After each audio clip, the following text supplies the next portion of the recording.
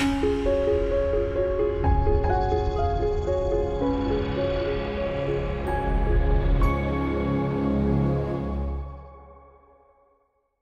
name is Eoin Woods. I'm the CTO of a services company called Endava, about two and a half thousand people. I always joke we're the biggest services company you'll never have heard of. Uh, this isn't about Endava though. So uh, this is about productionization, which is very related to being rugged. Just to remind you, there's an app. You all know the story. Can you all rate the session in the app? Thank you. So what are we going to talk about? Um, first thing is what is production? So a quick show of hands. Who here works for a startup? really small company? Anybody? No one. Who works for a company with an IT technology department of at least 200? Most people. Great. And how many of you work on a system uh, that's in production? Everybody. Great. So hopefully this will be relevant. Um, how many of you get called in the middle of the night if something goes wrong? That's a much smaller show of hands, I've got to say. You are all leading charmed lives. Um, this is mainly, this presentation is mainly about how not to get cold in the middle of the night. So hopefully uh, that might avoid it for those of you who do. So we'll just talk about what it is a production system is and what its characteristics are, because they're a bit different to the environment that most of us work in most of the time. And then briefly, we'll just think about what is it actually goes wrong. But the main thing I want to talk about is the fact that there are four key requirements that I have noticed over many years every production system needs to exhibit. So we'll have a look at those. And then I found there's a pretty simple framework you can use for thinking about how am I not going to get these wrong for my system? And that's really the thing to take away. We'll go through an example for one particular requirement, one particular quality property, but you can do it for all of them. We just don't have time today. A much longer version of this talk does go through them all. Uh, and then just wrap up with a few final thoughts. So, what is a production system? Um, any definitions? For me, a production system is any system where someone's doing real work in it, which means they care for two main things. If it's not there, they can't do their jobs. And if you lose the data in it, they get really upset. And that for me is production. Doesn't really matter how they're classified by an organization. Those, that's how you know a production system. And for many developers, I have noticed, and one of the reasons I give this talk, um, for those of you who know me, you'll know I've got these two hot buttons. One is productionization, and one is security. Because I find developers in general, we blame them a lot for developing insecure systems, and yet at no point do we try and communicate the essentials of how to create a secure system. And then people get beaten up for things that go wrong in production. And no one has ever um, actually taught developers what they need to do to deal with production. So when you were graduates, so most, many people here, I guess, read a technical degree at college. How many of you had a module on writing code for production? Yeah, I didn't either. And in your graduate training, you know, you came in and you were trained and you were mentored, and you became a craftsman. During that process, how many of you had something formal about production? The constraints, the requirements, who you deal with? No, exactly. And then people beat you up when it went wrong in production. How unfair is that? So the problem is, who do you talk to? What's important? No one ever explains this stuff. You find it out by being called at three o'clock in the morning. And you know, it's worse than that because if production was really easy, you'd just figure it out. But production's a bit developer hostile generally, isn't it? And it's kind of for good reasons, because how do we treat the development environments? We just run rampant over them. We do anything we want to do. We install new stuff, we patch the operating systems, we use development languages that aren't ready for production. And obviously we can't do any of that in production. We've got to keep production clean, pure, and uh, completely stable. So it's kind of a difficult environment, and no one teaches us about it. And in particular, there's a new cast of characters you've got to get used to. So who do you deal with in the dev environment? There's developers and there's users. And you know, there's different kinds of people involved in development. You know, there's people who specialize in tests. There are project managers. I'm sure you've got a senior manager. You've got a point, pointy head boss. Some people will have, you just won't confess. Uh, but there's people involved in development, and then there's people who care what you're developing. And they tend to be real active end users who are involved and actually want to know what you're doing because they're going to suffer the system. And what happens when you go to production? Nothing if, if my bill doesn't work. All these people come out of the woodwork. Where did all these people come from? You put a system in production and the world wants to know about it. Obviously, the IT operations group are very keen to know about it. Obviously, How many people here use a DevOps-oriented software development process? Oh, that's go on, just bluff, put your hands up. You'll all feel much better about it.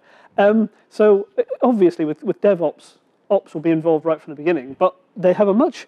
I've found that ops have a much sharper focus on the system when they're about to have to put it into production than three months beforehand when we're talking about generalities. So they become very interested.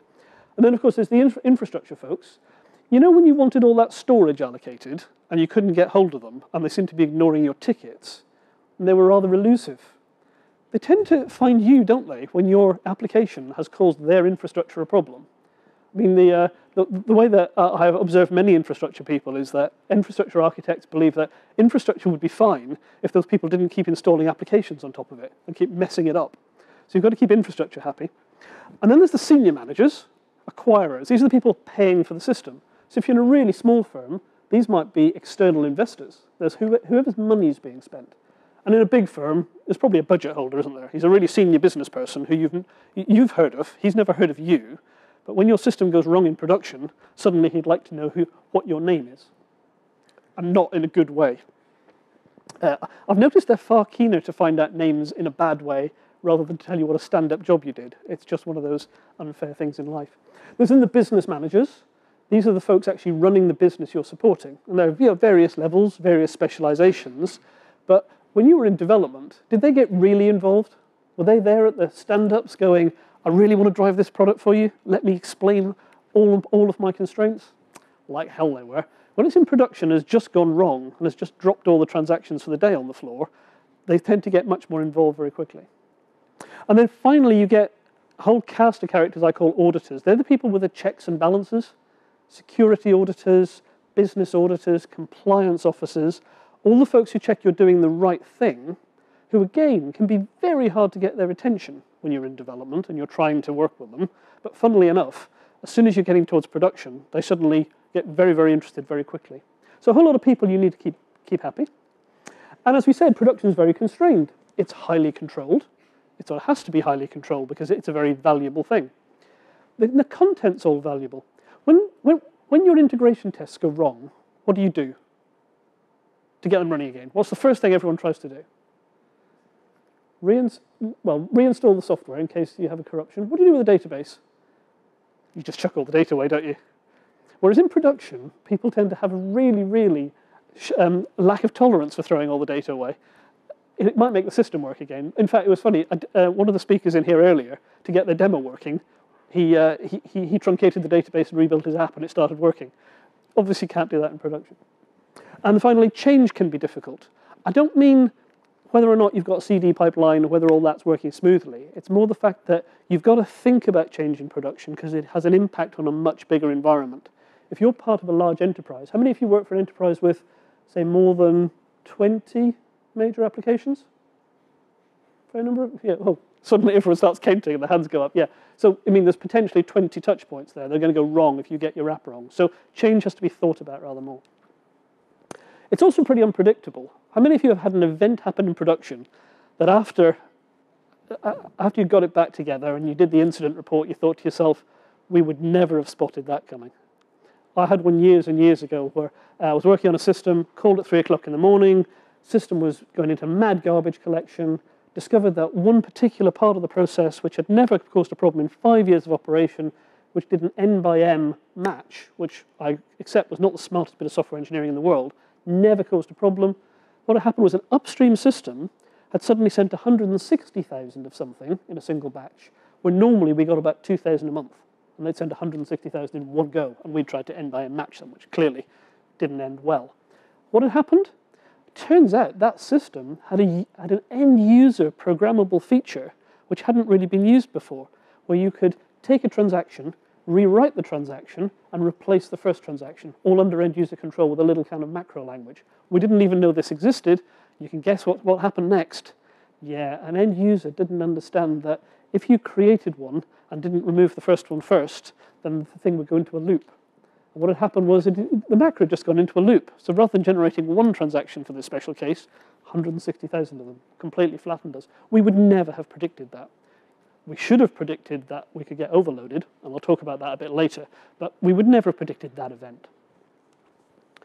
It's also highly visible. As I mentioned earlier, I found that when I was, when I was responsible for systems cold in the middle of the night, I got, or I got my name in front of some really senior business managers I'd barely heard of. They all got to know my name really quickly. Um, I've, I've been lucky enough to take over a few production systems that we described as red, meaning on the red, amber, green charts every morning, they had a very nasty habit of being bright red. And you really do get a lot of attention in those cases, but I say, not in a good way. Everyone wants to know when you're going green. It's funny, when you're green, everyone forgets who you are because you're not causing them a problem. So it's completely different. And finally, you don't own production.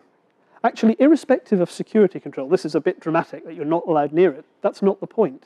We genuinely don't own production. Who owns the development environment? To the first approximation.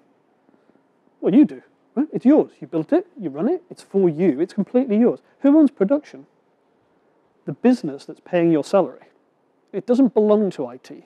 IT operate it on behalf of a business who own it. And so we've got to keep that at the back of our minds. Even if we have DevOps up and we've got completely automated pipelines and the whole thing looks very smooth, always bear in mind it's somebody else's environment. We are the custodians of it. We're not the owners of it. And that's a different philosophy.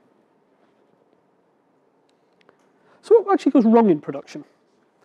I bet you could all, you, you could all produce a list. Well, here's my list. First set are performance surprises. Three things happen. I mean, this is the most classic stuff, I think, is that everyone thinks of production first. Uh, sorry, performance first. Um, interactive load surprises. Things like marketing have put a lot of flyers in magazines and they didn't think to tell technology first. All the magazines have gone out, and as soon as everyone picks them off the newsstand or they pick up their metro in the morning, they go to your website to type in their special code to get their bar of chocolate. If only they'd told you first. You could have checked that you had enough capacity for that. Very hard to, uh, um, to spot. Um, batch time surprises, you know, batches that run for 40 minutes, day in, day out, year in, year out. And then one day they run for four hours, 22 minutes and knock the entire batch schedule for the organization for six. Because I'm not a big fan of batch. I've always tried to design it out of my systems. But many enterprise environments, I mean, who here works for a medium-sized big company who doesn't have batch? You've all got it somewhere, right? Because even if you can pre-process your stuff event by event, if you can't get the data you need, which arrives in batches, you're going to have um, batch problems. And the last sort of surprise is, is are the system abusers. Um, there was a system not so long ago I worked on that um, one of the business analysts had a brilliant idea. We had quite a powerful system, um, relatively old-fashioned thick client, but very powerful thick client. End users loved it. But to search in the system, you had to know what kind of thing you were searching for. So you searched for an account, and it had a clever search function. And then you went to the client screen, you could do a clever client, you know, client search.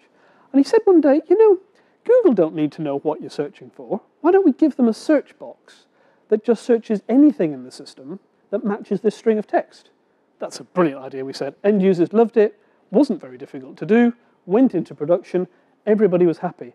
And then we were getting all these strange interactive performance problems in the afternoons. And we, we eventually tracked it down to one end user who clearly thought that this was mainly for entertainment, not for business purposes, and was asking it questions like, what have we done since 1972 for all clients in Botswana? And obviously that's quite a difficult thing for the system to answer quickly. So um, the, other, the other thing is where end users don't necessarily understand the impact that their use of a system can have on it. Now, clearly, again, we should have done a smarter job about putting resource governance in. Again, touch on that a bit later. But system abusers can be quite hard to predict. The better the tool you give them, the more likely they'll find some way to abuse it. The only thing about production I touched on a few minutes ago is you're in an environment. What do you do in development and test? You mainly create a stable, isolated environment, don't you? Because you want to be sure what you're testing and you want it to be predictable because you don't want flickering tests. And that's exactly the opposite of production. You're now linked into this spider's web of an environment. And you can have a lot of problems with constraints and contention. I mean, contention, for example, on shared infrastructure. Has anyone here shared a SAN with a large system? That can be an unpleasant um, situation. Um, again, I was involved in a production incident where our database was suddenly running really, really slowly. So hence our batch was really, really slow and interactive suffered and the whole thing. And our DBAs were very, very puzzled because nobody changed anything until they called storage and went, these guys are seeing terrible, terrible performance on this SAN. There was silence at the end of the phone. No, we haven't changed anything. Don't know what could be. Oh. Oh, we just moved the data warehouse onto that SAN alongside you. Do you think that could have had an effect? given they move half the data in the firm every night, that could have an effect, yes. Again, not something we could have controlled. Uh, unexpected behavior, such as when you, um, again, example years ago, we, we were calling a pricing service, and this pricing service evolved to be helpful and return a range of prices and not just one in our response without actually telling us. And they were strictly speaking correct because they'd always returned a list, but they'd only ever returned one item in the list. And guess what our developer had done? Well, there'll only ever be one item in the list, so I'll take the first. We got some very, very strange pricing calculations for a couple of days till somebody figured it out. Uh, and the last point I keep seeing around, uh, around the environment is integration points. Wherever you're touching another system, you're dependent on somebody else doing their job well. Uh, this is something that somebody who works for a large bookseller that happens to also be a very important online company mentioned to me some time ago was that one of the real challenges he had in his environment was not so much keeping his service running, it was predicting what was going to happen to all the other services he was dependent on to deliver his service. So it's not just big banks of this problem. Failures, of course, happen. Software defects, they're completely our fault. So let's gloss over those and move on and just assume they never happen. Um, platform failures, platforms simply fail, they go wrong, and sometimes we have that all managed. Uh, sometimes we haven't done such a good job on that. Um, and then there's the environment failures, where just something, it's not the underlying platform, but something is now malfunctioning in your environment. For example, something you call routinely via some synchronous connection, maybe not a good idea, but maybe you need to for some reason, suddenly starts running slowly, or suddenly starts returning you no values at all. There's a failure somewhere else. It's Peter Deutsch's definition of a distributed system, isn't it? It's when the failure of a computer you've never heard of prevents you getting any work done. It's that kind of environment problem. And lastly, security tangles. How does your security look in development? Everyone's pretty well got root, haven't they? Or some, some, some equivalent of root, because it doesn't really matter. And then you get to production, and what happens? You suddenly realize that it's an awful lot harder than you thought it was. Um, I've been involved in a number of situations where you actually shipped the software, having gone right through testing cycles and validation, and you got to production, and then you found the special guy who works in Hong Kong and mid-market risk or something, who needs a security profile that nobody else knew about. And it's just, just the problems with security is dealing with many security principals in different trees, different hierarchies, dealing with external security, all the stuff that really you can do an you can go an awful long, long way down the security design route and actually manage to ignore most of this until you actually start thinking what the real environment is like. So given that gloomy outlook, what are we going to do about this and how are we going to help engineers avoid these problems? I have noted over slightly too, too many years of uh, production systems experience, there's four things you always have to get right. And if you get any of these wrong, it ends badly. Now, every system has got unique requirements. Don't get me wrong, but this is not all you need to do. What I'm asserting, though, is if you're not functionally correct, and if you're not stable, and if you can't provide predictable capacity, and if you can't nail the security problem, you will have production problems. And I have an awful lot of the real production incidents I've ever dealt with have had one of these problems behind, one of these root causes behind them. Um, and of course, there are many other ways you can go wrong in production, but these are kind of kind of the core ones. Um, and it's worth a couple of words on a few of them. I mean, stability is really means predictability. It's not necessarily that you can do the impossible, but it's that when the impossible turns up, your system doesn't suddenly stop like the one I was talking about unfortunately did. And then capacity, it's being able to process whatever workload either is needed, but actually in practice, it's you can process the workload you've promised to be able to pr process. A lot of critical banking systems, for example, do this. They agree what the capacity of the system is, and then they build the system in such a way that it will always process that capacity. However, if you send it more workload than that, it will get dropped on the floor, possibly silently. That's the contract, and that's the trade-off. They're guaranteeing a capacity. What they're not guaranteeing is to start doing their best once you, once you go for that capacity. And it's a trade-off between whether you need more flexibility or the capacity is an absolute requirement. And then security kind of speaks for itself. People used to say there's no such thing as bad publicity, whereas if you've seen a few, few security headlines in the last couple of years, that, that old adage probably no longer holds. There are definitely some kinds of uh, headlines you really don't want. So what I've done when I've dealt with this, when I've been designing systems and trying to um, help teams uh, move towards production, is that I found that you need to uh, approach it at three different levels, which are really three different stages in your thinking. One is when you're putting your system together, you need to have strong design principles to make sure that people can achieve these four essential qualities just as a side effect of doing business as usual. So everyone follows a certain set of principles pretty well, they're going to be in line with, with these needs. Um, there are certain technological solutions, and as engineers, that's often where we focus, because that's often the fun bit, is figuring out what the right design pattern is, or what kind of security algorithm we're going to use. And finally, especially when we're dealing with operations groups, it's really important to be clear what kind of processes we're going to use. That doesn't mean a big thick binder full of paper that gives people step-by-step -step instructions, unless that's what someone's asked for. But it is being clear how you're going to do certain things with your production system so that you don't need to work it out the first time when something goes wrong. This is a really common problem with security. What's one of the processes that you always need for enterprise security? What happens when things go wrong? You'll need an incident response plan. Agreed? The thing that a certain large international entertainment company clearly did not have when they, they were attacked badly a couple of years ago. Or if they had it, they didn't know how to use it. Um, it's not necessarily that you want a binder full of material, but you do need a group of people who have agreed who's involved, who's doing what, and what they're going to do. You don't want to work out your incident response plan on your feet in the glare of the world's media, or even in the glare of your CEO's unhappy stare. So the kind of things that fit in here are things like you might have a design principle to stress simplicity to help you achieve correctness. That's a rather trivial one, I know, but there are definitely design principles can drive you towards correctness, functional correctness.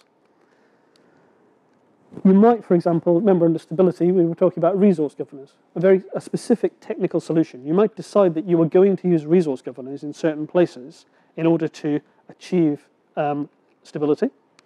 And for processes, for example, for security, you might decide you are going to get people to do threat modeling because you know that has beneficial side effects in understanding the threats and working out what the correct mitigations are. Or similarly, you might have, as I said, incident response plans, or there are a number of processes relevant to them. The key thing is this is a framework where you simply put this up on the whiteboard and you go, right, to achieve these four, which of these areas are relevant, and what are we going to do in each? You need to agree that as a team.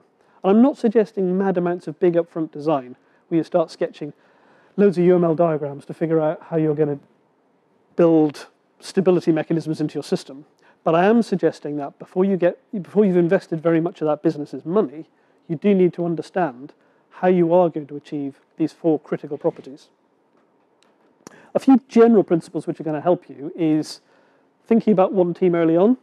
You all work for DevOps organizations. It's all right, put your hands up. We won't tell anyone. Um, making sure that, you remember that big cast of characters? Making sure that everyone in that is feeling a bit of accountability, but also feeling fully consulted that they know what's going to happen about this system when it gets towards production. Auditors in particular, in my experience, particularly don't like surprises. They're what I term as often a negative stakeholder. The best result for an auditor is your, your, your, your project gets cancelled and your system never gets near production, because then they don't need to worry about it. And obviously, that's not what the business wants, but they're, they're quite a negative um, stakeholder. Having them as part of a one team early is a great thing. Automating everything we can, I think that's becoming more and more a well understood principle. The more we automate, the less um, surprises we're going to have, and the better we'll, we'll get at doing it. Measuring and improving as we go, so that we actually know if we're getting better or worse, and if we're getting worse, we can do something about it. And finally, is making sure that we do this in a timely manner. We're going to need good enough, and especially around processes, we can often agonize to the point where we're trying to write micro level, fine grained processes. And if you've dealt with an operations team who've come from maybe a heavyweight mainframe background, they may, may be very comfortable producing very, very detailed processes.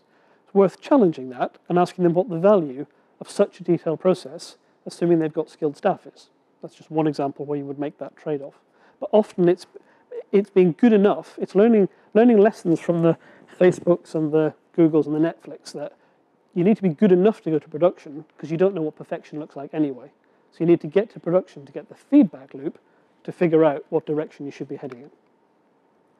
These things today, of course, the CD and DevOps movement are talking about, they're not new though. CD and DevOps are labeling them as important things, and that's terrific. But they've been around a long time. We just need a bit of focus on them. So to give you an example, how would you go about using this framework? Supposing you want to achieve stability. I had to pick one of them because the full presentation does all four, but I, have picked stability today. Mainly because it's got a nice diagram, but see what you think when we get there. So, for example, suppose you, you, you need to achieve stability. What design principles are you going to use with your developers so that people understand how to achieve stability in your system?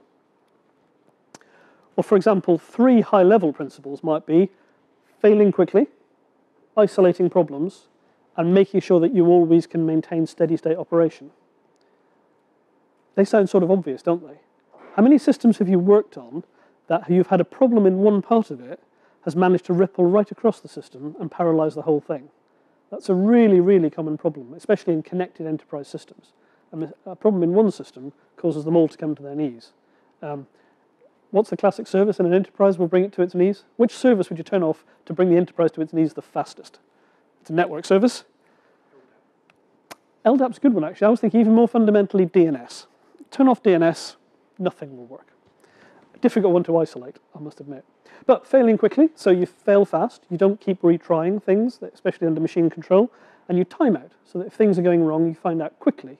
You don't have all your threads hung up waiting for something that's never going to return if you're going to isolate problems, can you put circuit breakers into your API calls so that you don't overwhelm the, um, the remote systems with more and more calls when they clearly can't respond?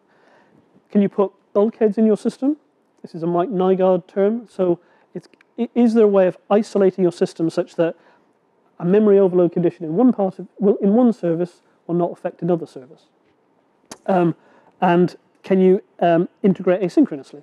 So everything doesn't get hung up in a huge distributed call chain when something goes wrong. And ensuring steady state operation is really boring, but actually, it's quite common that if, if you're in a big organization and you look down a list of production incidents over a week, it's not rare at all to find one or two systems that have had an incident because they, they forgot about the boring stuff of steady state operation, truncating their logs, making sure they had a storage management policy, predicting memory usage uh, on a rolling basis, understanding what their bandwidth requirement was, and so on. So suppose then you had actually identified some design principles. Clearly, you need to communicate those clearly and agree them as a team. And then those, it's not about giving people micromanagement, but it does help them to think about prioritization and think about their software being production ready much earlier in the process than we often encourage people to do so. So then you then need to actually look at some technology solutions in nearly all cases. I mean, some of the examples would be things like failing fast so that you, your load balancers have got, uh, are, are very intolerant to problems going on further down the stack and very quickly start returning errors to people. See, if you do REST-based APIs, this is, a, this is a terrific heuristic. If you've got a problem further down and things are running slowly, just send people retry failure codes because there's no point in trying to process them if your system's already becoming overloaded separating your system into separate physical parts can be a good way to implement these, these sort of virtual bulkheads so that one overloaded server doesn't cause the entire estate to, um, to get overloaded.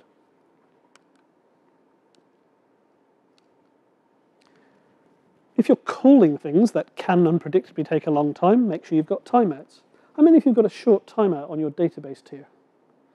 Yeah, a few nods, which is good actually because very, very uh, um, commonly, um, when you've seen a problem around the database, you find that one of the things that really knocked the problem on and caused problems was that all the client software, which is normally sitting in the mid tier, all sent their queries and then waited infinitely, or waited so long it might as well be infinite. And so they stacked lots of work up in the database that was clearly had a problem with it, and then tied up all of the middle tier, which then tied up all of the mid tier, which tied up all of the front, etc., etc. So um, timing out fast, you can propagate a problem back and handle it and get that work out of the system because it, it's, it's probably not, not going to complete anyway. A resource governor, that's one of the ways you prevent databases running away, but many technologies that are resource intensive have got resource governors in them. And a circuit breaker, which I'll just talk about in a moment, but that's a way of wrapping an API that you feel may fail at some point or is, li is, is likely to have some failure. So a circuit breaker, again, I'm stealing, stealing shamelessly from Mike Nygard here, um, but it's a common pattern that, fact, back when I worked in the system software industry, it's very, very common that system software products do this.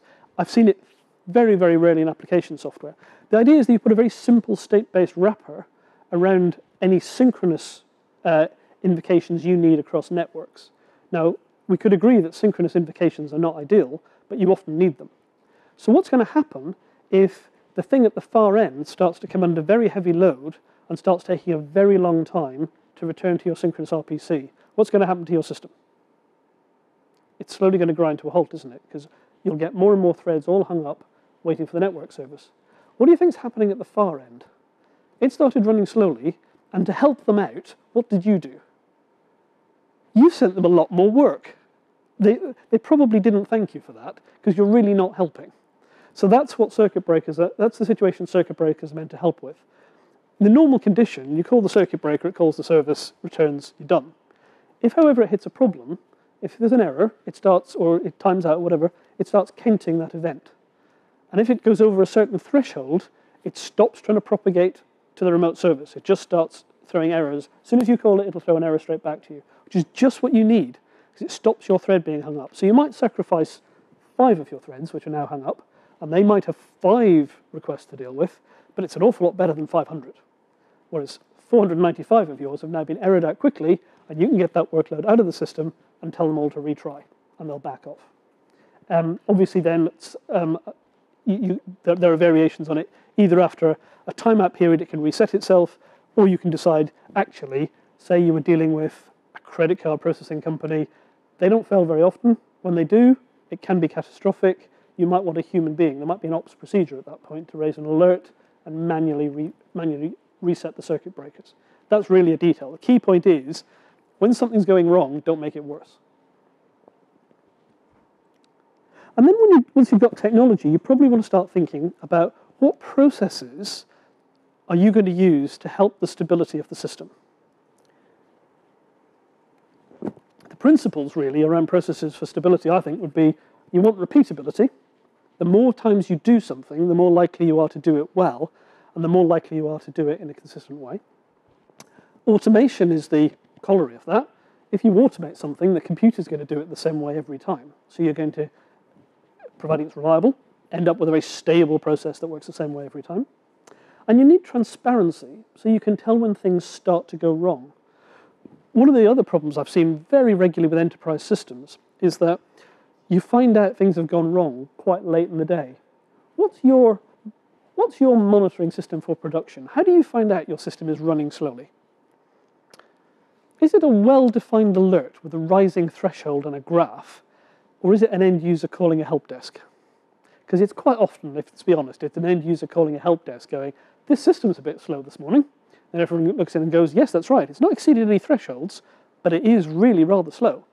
Um, modern tools, I mean, um, people like AppDynamics and their friends, uh, competitors who I know, New Relic, um, are examples of tools that are very good at tracking what's happening in an estate and showing you trends smoothing out the noise and allowing you to see dangerous trends early. But there are lots of other ways of doing it.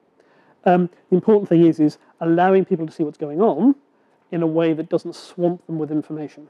Because that's the other thing is that we log everything, right? And what happens when you have to debug something? You can't find anything because there's logs everywhere. And you don't really know what logs to look in. It's very difficult to find them. So it's transparency rather than data production. And so process automation is absolutely, in my view, crucial to achieving stability. The kind of conceptual model being that you've got a human being, maybe triggering, but certainly can oversee an automated process which is pushing changes into your estate. So everything's got an API, which is just changes the game entirely when everything can be automated. Everything in the estate that's working automatically is reporting what it's doing, and you're pushing all that into a monitoring system that knows what normal looks like. And then the human being can ask questions, such as, has this completed? What has completed in the last hour? How many of these changes have we done? But most importantly, the monitoring system knows to recognize abnormal and can propagate that to the human being, who can then decide to change something that the monitor is doing. That's the fundamental structure of creating successful process automation, in my view. So, in summary, production's different. Production's not like our dev, test, integration type environments. It's quite demanding because you need correctness, you need stability, you need capacity, and you need to be secure in a predictable way. And unless you've got those, I predict you will have production problems, irrespective of what your enterprise architecture team or your end users or those nice external consultants from the management consultancy told you your requirements were. If those four things aren't there, bad things will happen. And so the question is how on earth do we guide potentially quite a big development team with people from many different backgrounds, lots of different kinds of skills, to actually achieve those four? Well, my suggestion is what we need to do is to make sure we've got design principles that support them. We make clear technology decisions, especially if we can, pushing those into infrastructure and frameworks. And we think as early as possible about process constraints. What processes will we need at some point before we get to production? And we do that for, to support each of those qualities explicitly. And that's all part of, if you like, the spike that starts the project. I'm not suggesting that's a huge design exercise. What it is, is a focused thinking exercise. And it guides you into the problems you're going to have to solve before you get to production, and it prevents them all becoming a huge surprise just before you get to production, which is what I've seen many teams, has happened with many teams. They've done a great job in development, but because they've not actually been thinking about the production environment, there's a lot of very unpleasant surprises very close to production. These requirements and principles are not new. I am old enough just to have, to have worked on mainframes. I, uh, I was sponsored by Ford Motor Company, and uh, I spent a short period on the mainframe before moving on to what Ford thought were newfangled and frankly rather untrustworthy distributed systems based on Unix. It took, took them a long time to come around to it. What was really interesting, though, is that seeing the DevOps movement is just fantastic because they're saying all the right things and doing all the right things. What's really interesting for those of us, those of us with, with grey hair is how much many of the mainframe people have been saying the same things in the background for some time. The big difference is what the mainframe people haven't been saying, haven't been stressing, is integrating the teams, and they haven't been stressing automation from development into production. In fact, they rather like a bit of an air gap. They like stuff handed over. And that's what we've got to change. And that's what DevOps and CD have been doing so well. Dave Farley was talking on that earlier. So it's all about breaking down silos to allow the old principles, which are timeless, to actually become effective in, in today's much more dynamic environments. In 40 minutes, I'm not going to actually teach you very much about production, but there are, in fact, a small number of books. That's the other funny thing. Go to Amazon and do some counts on programming books. Just do searches and look at the counts.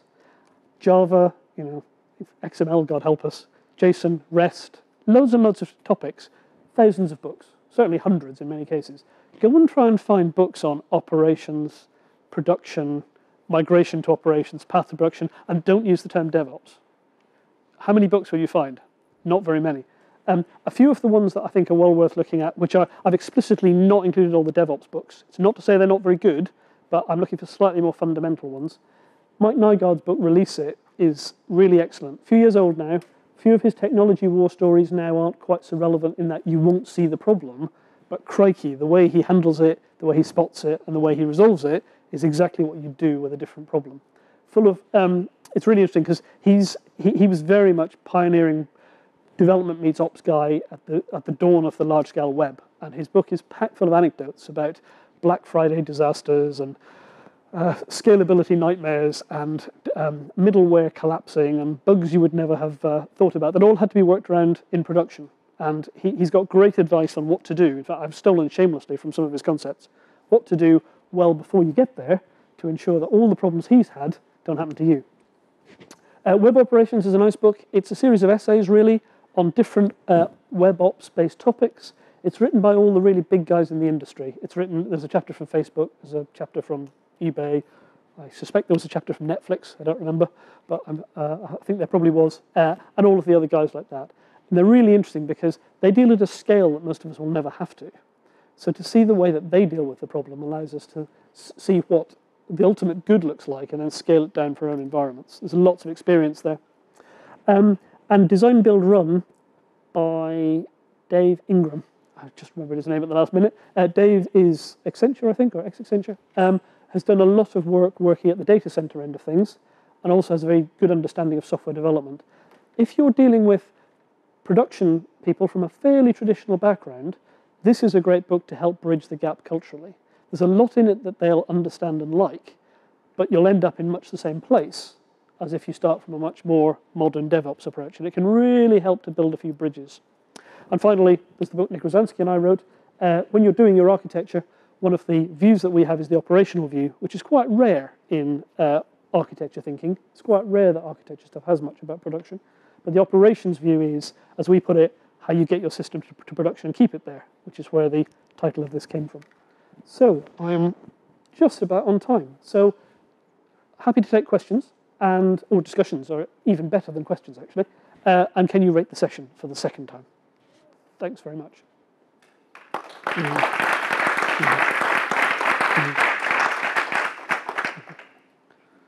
Uh, yes, yeah, so the question is, how do you prioritize this?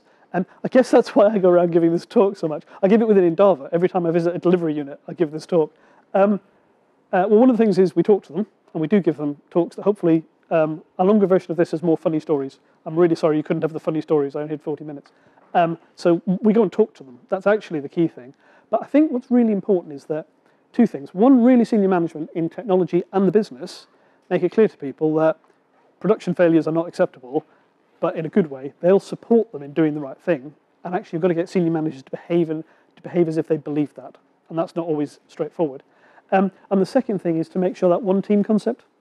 If you get people from all these different stakeholder groups involved in some kind of virtual team, developers get much more interested because actually people are interested in them and they're asking them, how are you going to do this? And they say, well, we don't know. How are you going to help us? And suddenly the profile of it raises and people start putting stories on backlogs that say, I've just been talking to somebody from compliance. I didn't even know we had compliance. And apparently, and you know, up, up goes the story. And that can really help because people talk to people. Hmm. Yes? Hi, um, I was just wondering whether, uh, what, like, what you exactly mean by correctness. Um, mm -hmm because it seems like some of the other categories also kind of come under that banner. I mean strictly functional correctness, and I skip over that even in the full version of this very neatly. What I'm really talking is what I'm really talking about is um, have you got sort of behavior-driven development front to back? Can you really stand up and say, I've got an executable spec and I can prove the code does what the spec says? There is then another question, which is, did you have the right spec? And then there's a whole sort of um, kind of questions about how did the business produce the spec for you. So that's the kind of thing I'm talking about under functional correctness. You're quite right, correctness itself is too general. Hmm. Okay, thanks very much. I think it's beer and keynote. Thank you for coming. Mm -hmm. One thing